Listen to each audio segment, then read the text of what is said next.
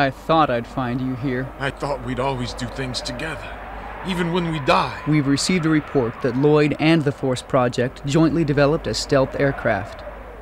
You're not expecting me to steal it. That's what I want. Spartan has already infiltrated into Lloyd's frontline base, Blue Rhinos. He'll be your assistant on this mission. Well, I owe Lloyd and the Force Project one, and I always make it a rule to get square with these guys.